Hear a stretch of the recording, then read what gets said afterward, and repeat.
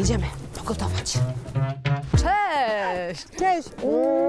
Czy myśmy się spotkały, żeby poćwiczyć? No słuchaj, ja ćwiczę cały pogotować? czas. Będziemy ćwiczyć dzisiaj jedzenie głównie, co? A ja jestem strasznym obżartusem. Wprawdzie troszeczkę przymaskowana. A ty też. E, Posłuchaj, ale trzeba odwrotnie, trzeba mieć czarne w talii. Nie wiesz, że czarne wyszczupla?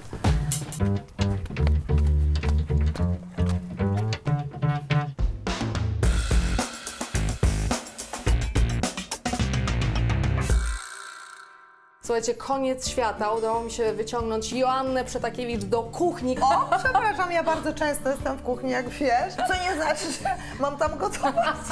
Ale powiem Ci tak, nie wiem czy pamiętasz, myśmy już jednak razem gotowały parę Aha. razy. Pokażę, bo mam dokumentację zdjęciową. Czy Ty to pamiętasz? A co to jest? No. Ta jajecznica? No tutaj jesteś w kuchni. Wow! Ale dlaczego mi Joanna zaimponowała? Bo słuchajcie, spartolić za przeproszeniem jajecznicę można na milion sposobów, ale zrobić ją dobrze i to w dodatku dla pułku wojska, bo tam była cała rodzina, twoja, moja, Tak. przyjaciele. Działo się, działo się, więc naprawdę szacun. A teraz e, robimy na twoją prośbę, życzenie, żądanie. Ja już się cieszę. Co, co robimy? No, mówisz. Robimy, słuchajcie, racuchy z jabłkami. Jeżeli się dziwicie, że Joanna takie dania zamawia, powiem wam, ona tak zawsze je. Mielone, schabowe, Ja racuchy. kocham normalną, zwykłą, rodzinną kuchnię, taką polską przede wszystkim. Egzotyczne e, celebracje, szaleństwa, krewetki. to nie jest w ogóle moja atmosfera. Natomiast racuchy są mi wyjątkowo bliskie, dlatego że tak, moja babcia zawsze mi je robiła, jak ja byłam mała, więc to mi się kojarzy z poczuciem bezpieczeństwa, taką bliskością, troską, miłością, taką całą słodkością rodzinną. I potem ja to robiłam swoim dzieciom przez wiele lat, ponieważ jak wiesz, umiem e, trzy rzeczy na krzyż gotować, ale racuchy do, doprowadziłam do szaleństwa. To proszę, zaczynamy. Słuchaj, ty dobra. obierasz w takim razie jabłka, a ja będę mieszać powoli suche składniki najpierw. Słuchajcie. Mąka, jakieś dwie łyżki cukru. Słuchajcie, tutaj ląduje. Anna cały czas Nie, ja sobie tutaj w ogóle zorganizuję blat. Wymieszamy to wszystko. Mamy tutaj ciepłe mleko, ono musi być absolutnie w temperaturze pokojowej. Roztopione masło. Do tego dodamy teraz drożdże, troszeczkę więcej niż dwie łyżeczki. No bo my lubimy, jak są takie puszyste w środku, tak. prawda? Mieszamy to wszystko. Moja prababcia była Holenderką i ona do wszystkiego dodawała gałkę muszkatołową, wiesz? One będą takie troszkę korzenne. Patrzysz na to z, z pewną dozą zaniepokojenia, Tak, widzę. tak, muszę powiedzieć, że tak, bo ja bardzo nie lubię Uuu, zaczyna się robić jazzu na temat klasyki.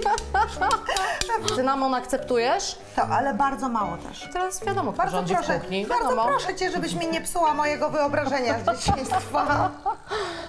Łączymy mleko. To wszystko będzie nam pięknie rosło. Jajka, dwa jeszcze ekspresowo rozbełtam. Dobrze, to sobie wszystko tutaj połączymy. Nauczyć się gotować można bardzo łatwo, nawet jak ktoś nie lubi. No. Ale powiedz mi, jak nauczyć się żyć szczęśliwie? Bo ty się stałaś teraz dla setek tysięcy kobiet takim coachem od szczęścia. Można się tego nauczyć naprawdę? Można. Jest nas pół miliona. Natomiast Erze liczę na no- to, że będzie kobiet. więcej. W erze nowych kobiet. Muszę to zjeść. Natomiast e, właśnie kuchnia i gotowanie to też jest szczęście. To znaczy siedzenie w kuchni i jedzenie razem, spędzanie czasu razem. Żadna jakość rozmowy nie jest tak wysoka, jak to, jak siedzimy naprzeciwko siebie Mhm. Tak, właśnie przy absolutnie. stole. To jest też tak niesamowicie wartościowe.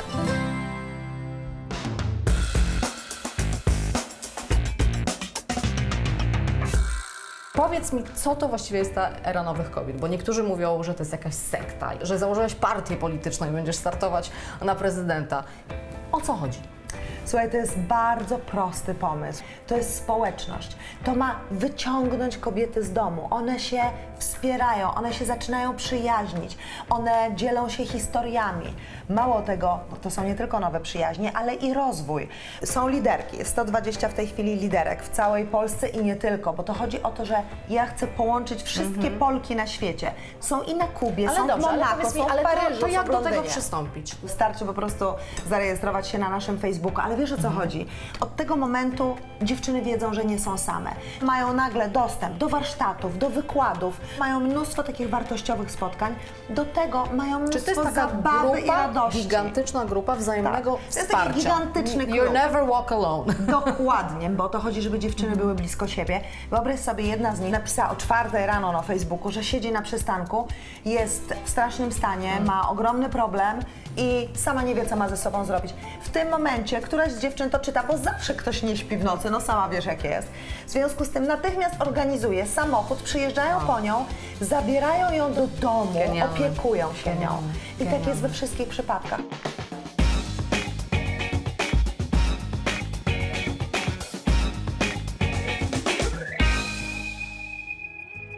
Jest dla mnie niesamowite, że słuchaj, ty w wieku 50 lat, czyli w momencie, w którym kobieta zjeżdża do zajezdni i robi się Tak. Staje się przezroczysta Dokładnie. i ty w tym momencie eksplodowałaś. Też Playboy był, taką, e, był takim papierkiem lakmusowym, dlatego że kiedy zrobiłam okładkę tuż przed swoimi 50 urodzinami, spodziewałam się tego, co kilka osób mi powiedziało, słuchaj, to ty już będziesz musiała się w ogóle wyprowadzić na Alaskę i wrócić za jakieś może dwa lata, jak już kurz opadnie i wszyscy o tym zapomną. Ale wiesz co, ja się, spodziewałam, że będzie jakiś zmasowany atak na ciebie, tak? Że po co właściwie ta golizna i tak dalej. Oczywiście były też takie głosy, ale tak naprawdę to się stało taką niesamowitą inspiracją, bo to nie chodzi o nagość, ale chodzi tak jak ty mówiłaś, No właśnie. o to, żeby być... A akceptację, Dokładnie. akceptację wieku, akceptację siebie. Nagość nie jest tylko obiektem seksualnym, Mhm. jest również symbolem akceptacji i cieszenia się naszym ciałem. troszeczkę rośnie. Normalnie jeszcze by trzeba było chyba 55 minut, ale od czego jest magia telewizji, słuchajcie. Tu jedno odstawiamy, No. niech sobie rośnie do następnej porcji, a tu I zaraz będzie? Wyrośnięte. It's magic. Dobre, mamy to! Jest! No i słuchaj, powiedz mi, jak, jak to działa w tej erze nowych kobiet? Czy ty zauważyłaś, że te twoje dziewczyny stały się pewniejsze siebie? I w ogóle jakie? Posłuchaj, to są cudowne kobiety, które mają tysiące cudownych cech, tylko że są siebie niepewne. Nie dostały za wiele wsparcia, szczególnie tego wsparcia od kobiet, które jest im najbardziej potrzebne. To one sobie dokładnie dzisiaj dają nawzajem. Wsparcie, zrozumienie, wysłuchanie, bo wbrew pozorom to jest największy faktor szczęścia, wiesz o tym. I nie udawać, jeszcze że jeden wszystko jest faktor świetnie, o szczęścia, o chodzi. którym ostatnio też mówiłaś. No. Taka recepta na szczęście, na dobre samopoczucie. Chodź. A tak, ale pamiętasz? 6 sekund. Trzeba się przytulać naukowo.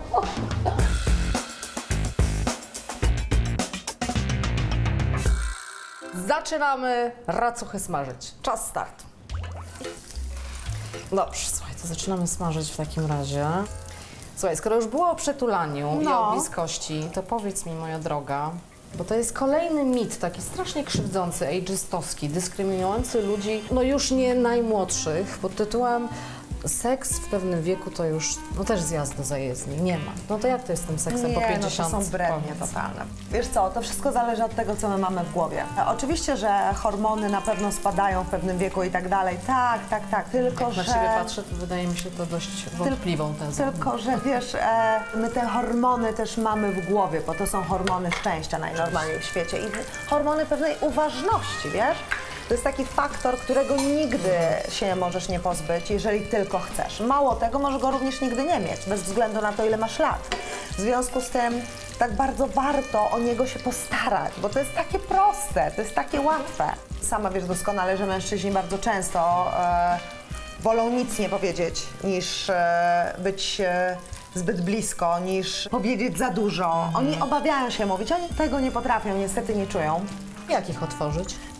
Z nimi trzeba bardzo prosto rozmawiać i nie oczekiwać, Tak, żeby zrozumieli. Wiesz, że jest taka teoria, że mężczyźni potrzebują tylko czterech rzeczy w życiu. Wiesz jakich? No.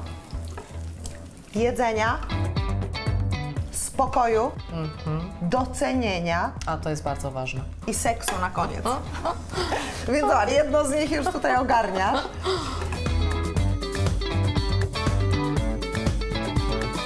To zdanie, jestem z ciebie dumna, zostało okrzyknięte przez naukowców, ogólnie rzecz biorąc, psychologów, psychoterapeutów, par i tak dalej, jako najważniejsze zdanie, które kobieta może powiedzieć Ale wiesz co, mężczyźnie. doceń moje racuchy. Ale właśnie, no ja jestem z ciebie dumna. kochanie, jesteś ciebie dumna. Takie teraz- ładne zrobiłaś. No, no brawo. W rondelku rozpuść masło, dodaj do niego mleko, podgrzej do temperatury pokojowej. W misce wymieszaj mąkę, dwie łyżki cukru i dwie łyżeczki drożdży w proszku. Do miski dodaj mleko z masłem oraz dwa jajka. Wymieszaj. Ciasto ma być gęste i kleiste. Przykryj ciasto ściereczką i zostaw na godzinę do wyrośnięcia. Pokrój jabłka w kosteczkę, dodaj je do ciasta i wymieszaj. Smaż racuchy na złoto, posyp cukrem pudrem i jadalnymi kwiatami. Podawaj z truskawkami, malinami, borówkami, porzeczkami, co ci się tam tylko zamarzy. Na racuchy chcemy mieć ciepłe, więc te lądują chwilowo w piekarniku, Okej. a my robimy pastę. Wow!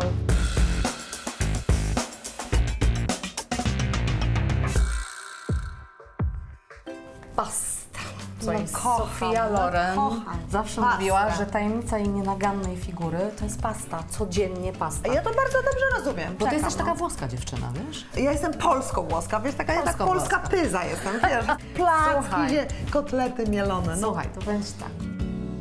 Penne, pomidory suszone, feta, szpinak, czosnek. Mówi ci to coś? No na maksa Aha. mi to mówi. Więc ta konkretna pasta to jest e, wspomnienie z wakacji, taka sentymentalna podróż, cudownych zresztą wakacji, jak zwykle spędzonych rodziną Całą bandą. we Francji, Tak, ale w Grecji też ją gotowałeś. tak. I powiem szczerze, tak. ja jestem pastową purystką, więc jak ty mi powiedziałeś, że pasta i feta, to mi to kompletnie w ogóle się nie zgadzało, ale jest po prostu przegenialna. Ja tutaj wprowadziłam taką małą, małą taką modyfikację, mianowicie dla mnie to jest jeszcze za chudo trochę. A, Więc ja no, no. postanowiłam dodać do tego śmietanę, ale tylko osiemnastka, kochanie. To jest... Nie 36? Nie, no coś tam. Zmiksujemy No. część tych e, suszonych pomidorów e, ze śmietaną i ona, e, ten miks tak otuli jeszcze ten, e, ten nasz czyli makaron. ty, to, No. czyli ty robisz jeszcze do tego taki e, trochę śmietanowo-pomidorowy mus. Tak, dokładnie tak.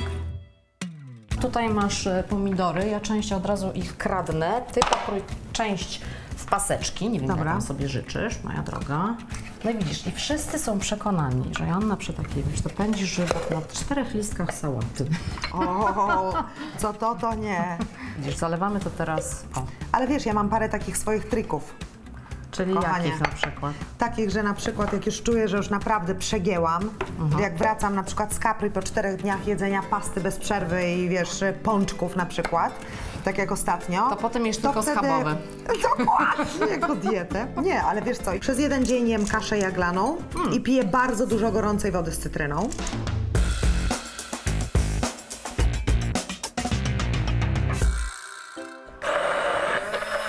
Dobra, to już przemielę do końca, żebym później do tego nie wracała. Mnie ostatnio, słuchaj, dziennikarka zapytała pewna, jak to jest, jak już dziewczyny wyfrunęły z gniazda, znaczy jedna wyfrunęła, a druga już jest tak powiedzmy na blokach startowych, że to w zasadzie jest koniec mojego macierzyństwa. I mówię, ale jak to koniec? To jest dopiero właśnie początek, bo to jest inny poziom. Często kobiety mają coś takiego jak syndrom opuszczonego gniazda, że nagle te dzieci się wyprowadzają albo wjadą do szkoły, do innego miasta i tak dalej, i tak dalej. Natomiast prawdą jest, że wtedy przechodzi się po prostu na zupełnie inny poziom. Tak, dokładnie. Na zupełnie Na inny- genialny poziom, Na prawda? genialny poziom. Zresztą sama wiesz po moich chłopakach, jak to jest z nimi wyjechać na wakacje. Cudownie. I jak to jest, Jak kiedy spędzić z nimi Sylwestra. razem na stole.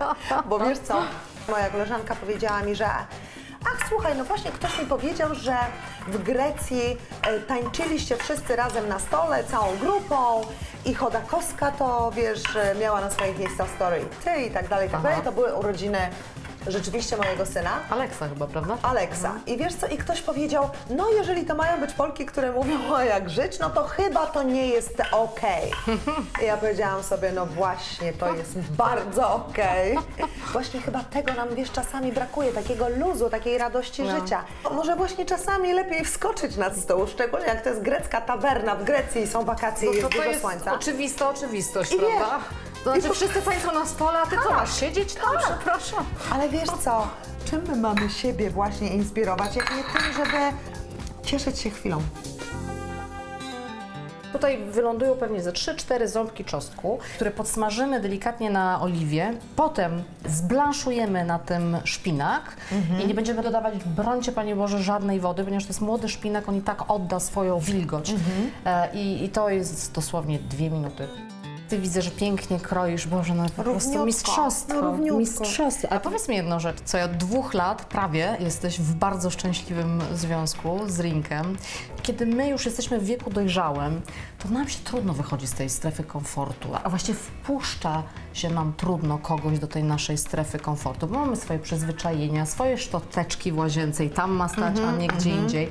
I powiedz mi, jak to jest tworzyć w takim dojrzałym wieku związek? Dla Ciebie to było trudne? My jesteśmy razem półtora roku i przez pierwsze długie miesiące ja nie byłam tak, e, wiesz, o tym e, totalnie przekonana. Wiesz, ja tak traktowałam to najpierw jak romans, szalony i tak dalej, i tak dalej, jako, wiesz, super ekscytację i fascynację, ale nie wiedziałam, jak to będzie dalej i jak e, sama się w tym odnajdę. Dobrze, słuchaj, ja widzę, że woda się nam gotuje, super, solimy. Woda na makaron musi być słona jak Morze Śródziemne, No, tak ile mówią? Włosi. Słuchaj, no tak garść. A nawet trochę więcej. Wow! Ale wtedy nie Dużo. musisz dosalać, wiesz, na talerzu. Przykryj, jeżeli możesz. Powiedz mi jeszcze jedną rzecz. Być w związku z cudzoziemcem. No bo Rinka jest Holendrem. Czy to pomaga, czy przeszkadza? Jego cudzoziemskość e, pomaga, dlatego że on ma w sobie całe morze takiego pozytywnego myślenia. Ja zawsze zaczynam od tego, dobra, to co tu może się nie udać? Jakie Aha. tu są ciemne strony tej sytuacji? A on odwrotnie. I ciągle mnie pyta, ale dlaczego ty zaczynasz od tego, że coś może się nie udać? A ja mówię, nie no, ja tylko eliminuję ryzyko. Rozumiesz? Natomiast on tego nie ma i to jest fantastyczne i on się cieszy jak dziecko. Dobra, słuchaj, gotujemy, bo ściemnia się. Gotujemy, gotujemy. Okej. Czyli dużo czosnku to ustaliliśmy. No. Im więcej, tym lepiej. Dla mnie nie ma takiej górnej granicy, Dla prawdę mnie powiedziawszy. nie. Ani cebuli, ani czosnku. Trochę posiekanego, jeden taki zmiażdżony lekko, ale w, Tak. Mhm. jeszcze w opakowaniu, że się tak wyrażę, bo on daje bardzo dużo smaku. To jest fajne, widzisz, nie wiedziałam, żeby tak wrzucić czosnek cały zmiażdżony, ale jeszcze w skórce. Daje fajnego smaku, jeżeli się troszeczkę jeszcze przypali, to będzie mm, cudownie. A no to świetnie. I teraz słuchaj na to bezpośrednio No. Wrzucamy szpinak. I bez dodatku jakiejkolwiek wody, nie daj Boże na to dać wodę, bo to wtedy nam się zrobi taka breja, którą pamiętam tak. z podstawówki. To nie tędy droga. No. I sobie powoli blanszujemy. Widzisz, on zaczyna Jezu, troszeczkę więdnąć. już, o. O matko. Powiem Ci, że ja jestem No. trochę głodna, nie wiem jak Ty. No ja też. Ale słuchaj, zaraz sobie odbijemy. Teraz pieprzymy, No, jakby to nie brzmiało. solimy. Słuchaj, lepiej to brzmi niż składniki suche i mokre. Tak, tak wiem. I blanszujemy sobie powolutku. Na razie tylko pomidory rzucamy. Czujesz? No czuję, już mi skręca. A chcemy trochę takiego diabełka małego, czyli tutaj jeszcze machnąć? Dawaj. No, nawet do lodów ładuję. Nie, no to już jest przesada. Tam przesada teraz. Czyli mamy chili. Wyrzucamy makaron. No to sobie nie żałujemy. Tak, więcej. Dobra, co tam się będziemy szczerze? Poza tym wiesz co, to jest potem bardzo dobre na zimno, No, pamiętasz? racja. Dokładnie. Bo to już nie jest pasta wtedy, to jest sałatka. Jak ja już się na to cieszę. No już. Gotujemy. No. Oj, zbliża się ten moment. Zbliża się ten moment, dla którego poświęciłam dzisiejsze śniadanie. Ale za jednym zamachem będziemy miały śniadanie, obiad i kolację. O, to na pewno. Pamiętam, jak pierwszy raz przyjechałam do Ciebie na kolację, sobie myślę, no dobra, jakąś sałatkę mi tam zaserwuję, czy coś, tak? A tu co Coś było? dla królika, a to były tak, mielone, zasmażone buraczki, pióre z ziemniaków, No. mizeria. Koniecznie. I czekaj, co Ty masz jeszcze takie obsesje kulinarne? Parówki? Kaszanka. No kaszankach kochana, Kocham. kaszanka po prostu rządzi. O, że makaron nam się ugotował. Jak zwykle trzeba odlać trochę wody z gotowania makaronu, bo potem to najlepiej nam połączy wszystkie składniki, sosy z makaronem i tak dalej. I bezpośrednio, proszę bardzo, z garnka wrzucamy do naszego sosu. Znaczy sosu jeszcze nie ma, dopiero teraz powstanie złożenia wszystkich składników. I dolewamy troszkę wody. A, okej. Teraz dorzucamy nasze pomidorowe pesto z suszonych pomidorów. I teraz ty, kochanie, wrzucasz naszą Fetę. fetę. Tak jest. Uwaga, bo teraz to już naprawdę jest na maksa się dzieje tutaj. Nie żałujemy fety, nie żałujemy makaronu. I niczego nie w ogóle nie żałuję. Nastaw wodę na makaron, posól intensywnie, musi być słona jak Morze Śródziemne. Pokrój suszone pomidory w paseczki. Zmiksuj połowę pomidorów ze śmietaną i orzeszkami pini. Serfeta pokrój w kostkę. Na patelni rozgrzej trochę oliwy z zalewy pomidorów, wrzuć pokrojony drobno czosnek oraz jeden cały rozgnieciony ząbek czosnku. Lekko podsmaż. Na patelnię wrzuć listki szpinaku baby, zblanszuj, aż szpinak lekko przywiędnie. Dodaj posiekane chili i pokrojone pomidory, wymieszaj. Dodaj sól i pieprz. Przełóż makaron bezpośrednio na patelnię z sosem, wymieszaj. Dodaj uprzednio zmiksowane pomidory, orzeszki rozśmietane i wymieszaj podgrzewając na wolnym ogniu. Dodaj pokrojone w kostkę serfeta. Danie posyp listkami bazylii i świeżo zmielonym pieprzem. Podawaj z parmezanem. Okej, misa i możemy iść na śniadanie.